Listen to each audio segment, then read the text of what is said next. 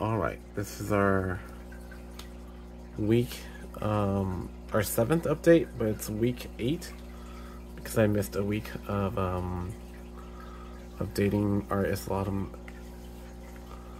So um, these guys are also um, still here. They're still doing good for the most part. Um, a little bit of fraying on the tails here and there, but nothing too serious. I think the most um, damaged or most hurt fish is still our um, little blue hap over here.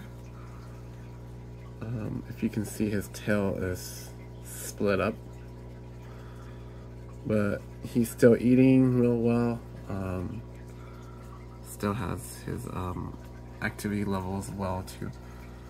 Um, our peacock is growing up to be quite beautiful actually. Um, it's got really elongated um, color colorations, fins.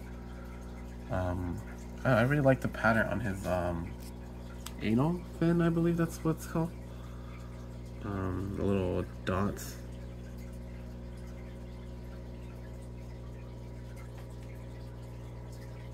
Yeah, and he is the biggest fish, even though our dominant male Islam is slowly catching up.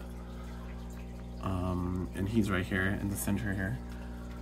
Still very much the bully of the tank as well. Um,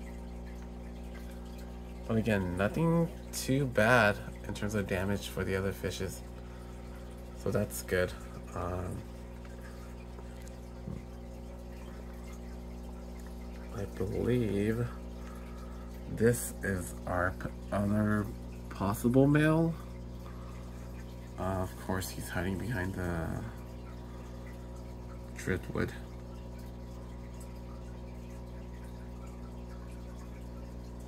Okay, we'll get back to him. Um, but yeah, uh, it's quite um, amazing how our um, dominant male has pulled away from everyone else in terms of size. There's a considerable um, size difference between him and um, the rest of his siblings. And um, yeah, there hasn't been any signs of pairing up between anyone, including um, our dominant male. And to be honest, at this point, I don't even know which one his mate is. His original mate was. If I had to guess, I'd say it's this one right here. Um, but yeah, they're. It's it's hard to say. Um, okay, here's our guy. This is the one I think could be our other male. Okay, never mind. He's back to hiding. Okay, maybe we can swing to the other side of the tank. Okay, here's a better look at him.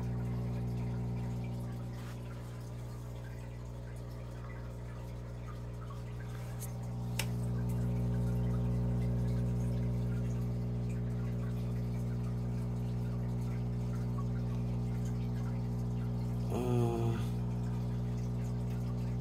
I guess not. But yeah, he's who I believe our other male will be. But no guarantees. It might be a female. I think his stomach coloration looks female, but he's got more blue than anyone else, so maybe that is what I think is making him look like a male to me. But then again, we'll see.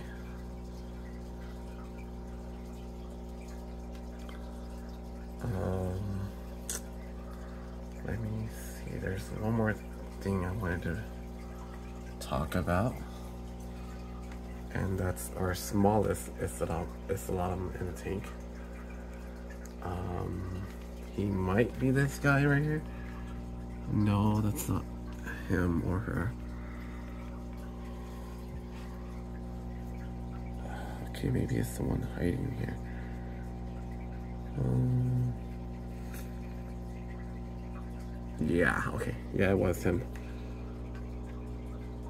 So he's the runt of the group, even though um, he's not that much smaller compared to his siblings, but being the smallest one too, he's also the less least colored up one as well. And okay, that was a terrible shot, but yeah, he likes to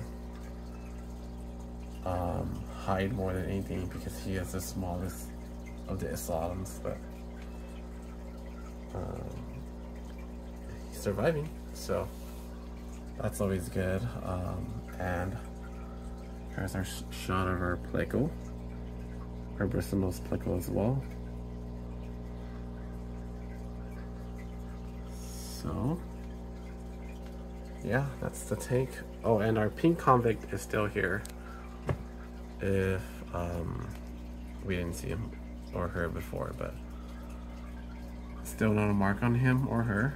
But um, yeah, I think he's growing pretty slow too.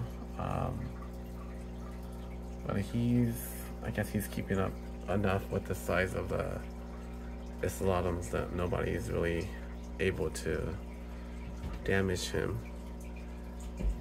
And I think part of it is because um, they he looks different, more different than you, anyone else, or at least between him and the other Isladams. So um, they leave him alone too. But yeah, that's the tank so far. Until next time, we'll check out for today.